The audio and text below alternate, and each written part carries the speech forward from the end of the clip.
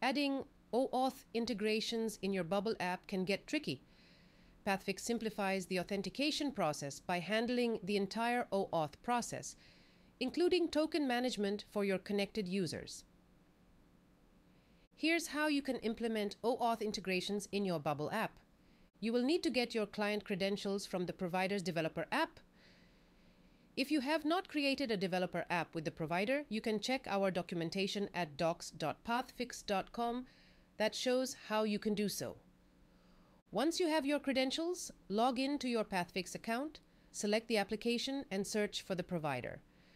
The providers are listed here based on the type of authentication process. OAuth is the standard process. Identity is for when you want to add a login module to your app. And client key is for providers that use a key-based authentication.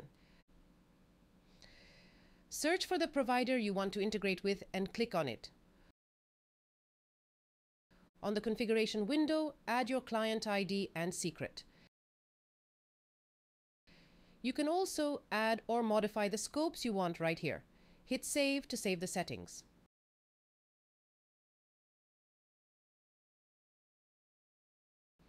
The next thing to do is to test the connection to make sure your developer app is set up correctly. Click on Test Connection. Click on Connect to connect an account.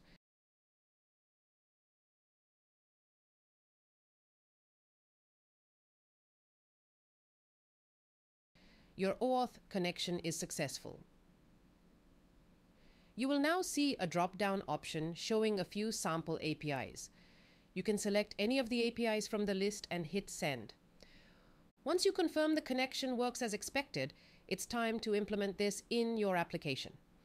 There are two steps to implementing this. First is to add the OAuth Connect button that will handle the entire authentication.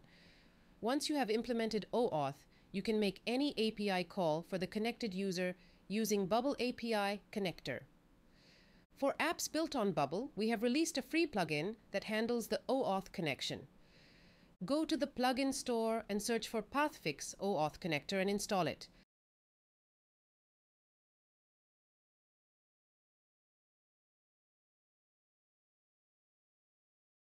To activate the plugin, copy your public key from your Pathfix account and add it to the plugin.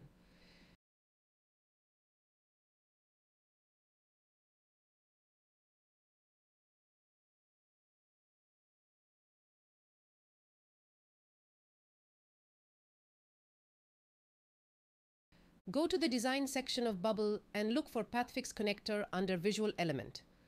Drag and drop this element to any section of the page where you want the Connect buttons to appear.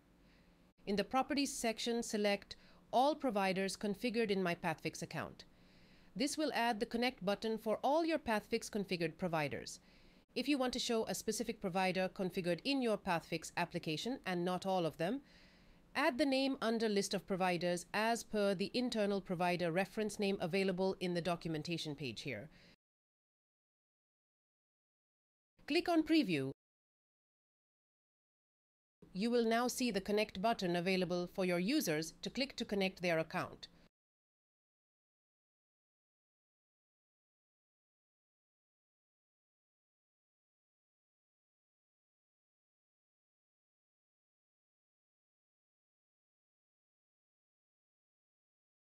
You have successfully activated OAuth in your Bubble app. You can now make any provider API calls using the Bubble API connector.